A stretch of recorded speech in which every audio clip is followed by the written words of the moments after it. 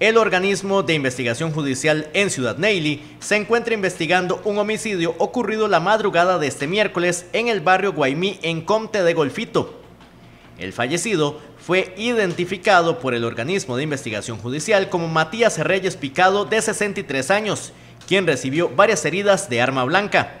Por este caso, se encuentra detenido un sujeto de 29 años, quien según testigos vieron por última vez con Reyes el cual presentaba una serie de heridas producidas por arma blanca en el sector de la cabeza, cuello y espalda.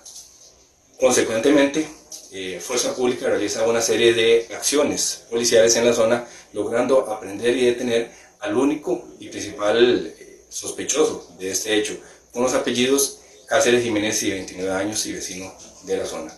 En este momento estamos manejando que el móvil del asunto sea el. En relación al imputado, en estos momentos estamos eh, presentándolo con un informe policial ante el Ministerio Público de Golfito.